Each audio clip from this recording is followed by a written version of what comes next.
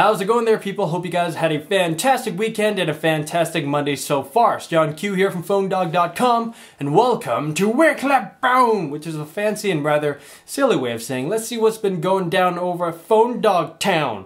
Or, you know, checking out some of the stuff posted by our awesome Phone Dog crew. So if you're all relaxed and ready, let's get started. The PlayStation Phone, aka PSP Phone, also possibly, aka Xperia Play gets another sneak peek on the interweb. This thing isn't out on market yet, but we do know some of the specifications. It's got a 1 gigahertz processor, a 4 inch screen, a 5 megapixel camera, so on and so forth, and oh! It's running Android 2.3. Gingerbread! Which is always a welcome change because I think some people are getting sick of Froyo! Gingerbread! That's where it's at. Speaking of sneak peeks, here's one for the BlackBerry Storm 3. Touchscreen fans might have lost faith with BlackBerry made touchy phones, but the BlackBerry Storm 3 looks like it might be okay with a 1.2 gigahertz processor BlackBerry 6, a 5 megapixel camera with HD video recording. Look how excited I am. So, you know, might be okay. You guys haven't seen her for a while, but here's Sydney!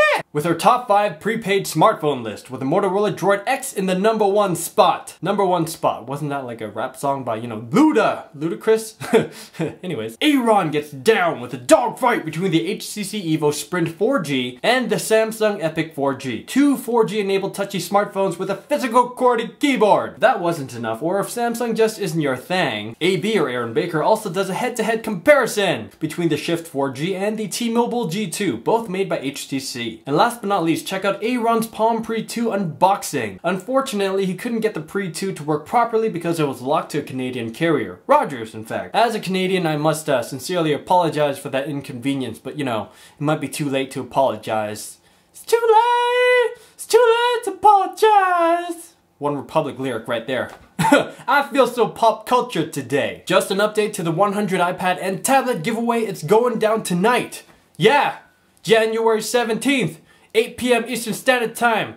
Tonight, yeah, Triumph. Mm. Aaron will be streaming live via Ustream and drawing out some random ticket numbers, so make sure you check that out and have your ticket numbers ready. The next drawing will be on Thursday and next Monday. And oh yes, did you forget that we also had a One Paw Bandit game where we give out free phones? Shame on you! As Aaron would say, special thanks to our friends over at Best Buy Mobile for sending us some free phones to give to you guys on our One Paw Bandit game. The link to that, the 100 iPad tablet giveaway, and everything kinda talked about today can be found in the Fla Fla Fla aka description box down there. Hope you guys like this video. This was Jon Q from PhoneDog.com, and I'll see you guys later.